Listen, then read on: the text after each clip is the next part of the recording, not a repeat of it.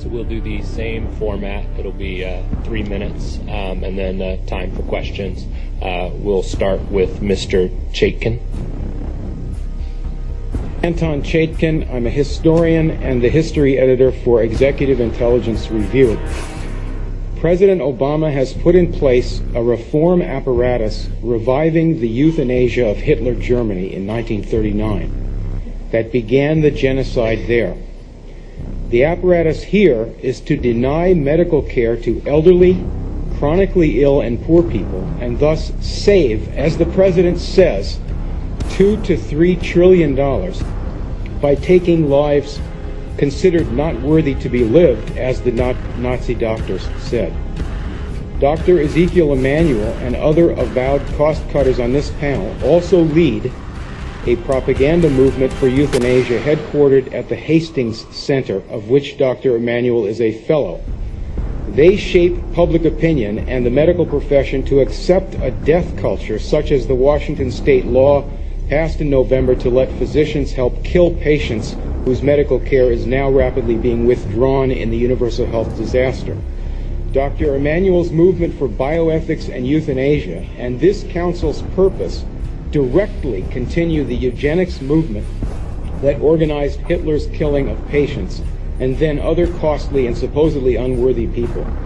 Dr. Emanuel wrote last October 12th that a crisis, war, and financial collapse would get the frightened public to accept the program. Hitler told Dr. Brandt his, in 1935 that the euthanasia program would have to wait until the war began to get the public to go along. Dr. Emanuel wrote last year that the Hippocratic Oath should be junked. Doctors should no longer just serve the needs of the patient. Uh, Hoche and Binding, the German eugenicists, exactly said the same thing to start the killing. You on the council are drawing up the procedures the, to, uh, list to be used to deny care, which will kill millions if it goes ahead in the present world crash. You think perhaps the backing of powerful men, financiers, will shield you from accountability, but you are now in the spotlight.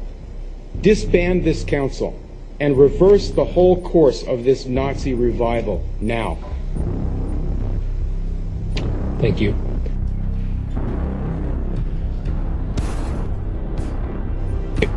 Break, I'm going to ask uh, uh, for questions and comments. Ms. Zuckerman, if you can come up, and I'm opening up to the panel. Yes, we're still going to, Ms. Williams, you're still going to get to talk. I'm going to ask Ms. Zuckerman to come up and join you. We're going to take a quick stop in the panel to uh, open it up for comments or questions. We have a few folks who have to uh, potentially go. The whole transcript will be available, though, and all comments will be shared with all uh, uh, council members. I apologize that I have to go back uh, an important meeting. I do want to just clarify one thing about my own, uh, since my reputation has been besmirched here, is uh, I think I do have a very long record of writing against the legalization of euthanasia. So the association of me and that seemed a little strange, uh, given I don't know, at least 30 years or 25 years of writing on the topic against the legalization. So just to clarify the record uh, for everyone in the room, thank you. The same thing. So.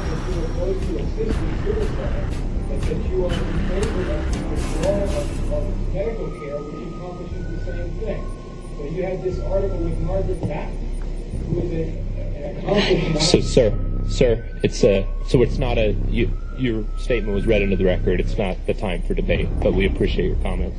Um, uh, and we apologize for the break in the panel, but we just wanted to uh, um, have that break.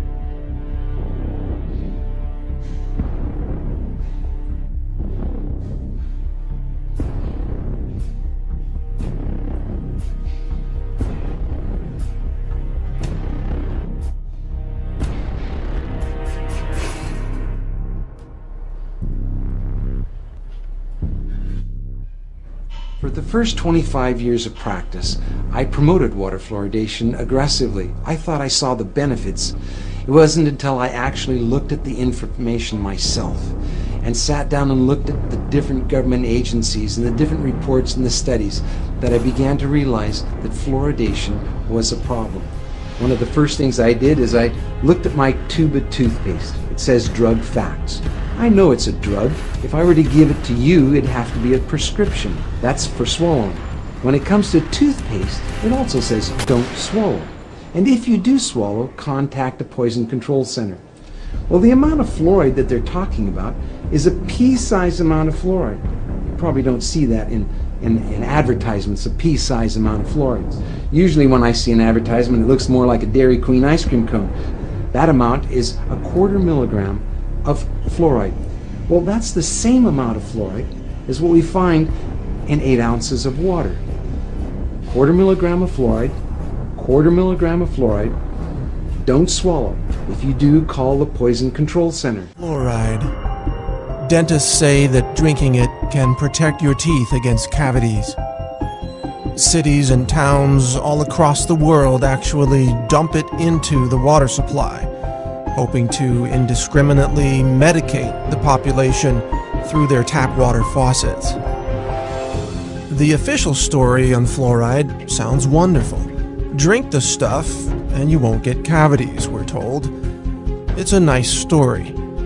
But there's another side to this story, the side you're never told. And it starts with the astonishing but verifiable fact that Nearly all the fluoride dripped into municipal water supplies isn't naturally occurring fluoride at all. In fact, it's actually a combination of hexafluorosilicic acid and sodium silicofluoride. These two chemicals are considered highly toxic by the EPA. They're actually classified as hazardous waste, and when packaged for transportation, they must be labeled as poison and handled by workers wearing industrial safety gear. So, what are hexafluorosilicic acid and sodium silicofluoride, and where do they come from? That's the part of this story that you probably won't believe. That is, not until you check it out for yourself.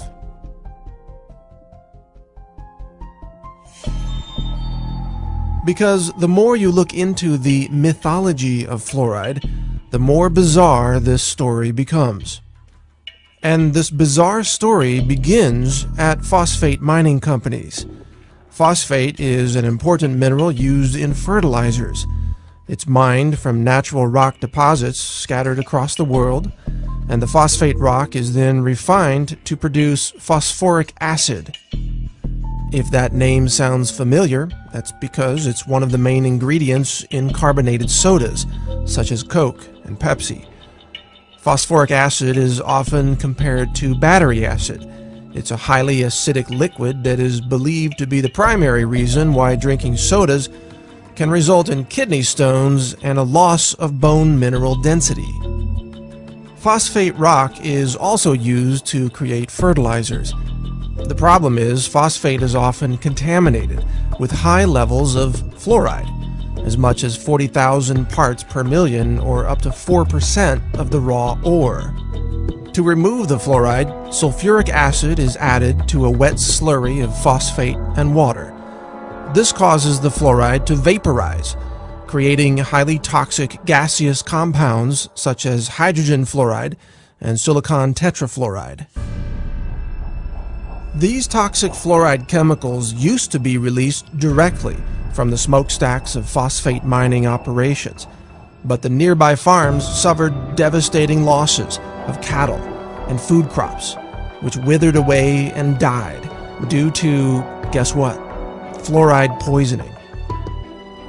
In order to stop this environmental destruction, the phosphate mining industry put in place a way to capture the toxic fluoride chemical vapors so that they wouldn't be released into the air and kill the surrounding livestock and vegetation. This was accomplished by installing wet scrubbers that captured the toxic fluoride chemicals, preventing them from being released into the environment and killing the plant and animal life living nearby. It is from these wet scrubbers that toxic fluoride chemicals are now harvested. They're collected repackaged, shipped to your local city, and then dumped into the municipal water supply. So instead of these toxic fluoride chemicals being released by the phosphate mining smokestacks, They are instead captured and then released into the water supply of large cities where the chemicals then contaminate the water of millions of people at a time. This is called water fluoridation. When dentists and doctors say they support fluoride in the water supply, what they're really saying is that they support the mass poisoning of the population with a highly toxic hazardous waste product that, if it weren't dripped into the water supply, it would have to be disposed of as a highly toxic hazardous waste under strict EPA regulations. Curiously, it is a violation of federal law to dump hexafluorosilicic acid or sodium silicofluoride into the water. Such an act, in fact, is considered an act of terrorism.